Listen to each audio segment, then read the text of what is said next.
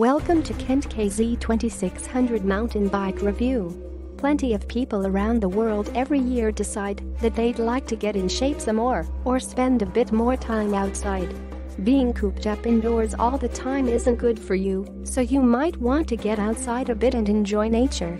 Whether you're going out on a hiking trail or just around your street, a mountain bike can provide you with a comfortable and stable ride just about anywhere.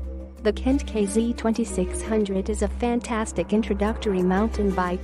It's not incredibly expensive, but it is comfortable to ride and comes with an array of features that all contribute to it being a quality choice for just about anyone interested in riding a bike around more often, no matter what they're interested in doing with it. This bike is made with an aluminum frame, which helps it be lightweight while still being durable. When you're having to load it into your car or store it away, you don't want it to be too heavy because it'll be a pain to mess with. However, you also don't want a material that's so light and flimsy that it gets damaged easily.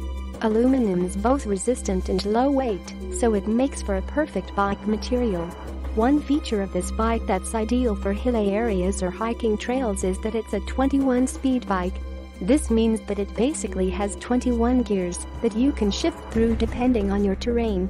It makes things like going uphill easier and going downhill more controlled so you don't go too fast. In flat areas this isn't too important, but if you intend to ride this on sloping streets or steeper trails, it'll be a lifesaver.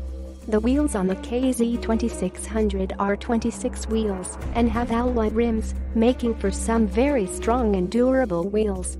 Each wheel has 36 spokes in it, giving it plenty of structure, so you don't have to worry about the wheels getting damaged when running over things like rocks or bumps. One of the biggest selling points on this bike is its suspension system. It has a floating beam suspension that's combined with a suspension fork, which makes the ride much smoother than other bikes. It takes off a lot of the harshness of riding over rough or uneven terrain so that you can continue to ride your bike for hours without becoming severely uncomfortable.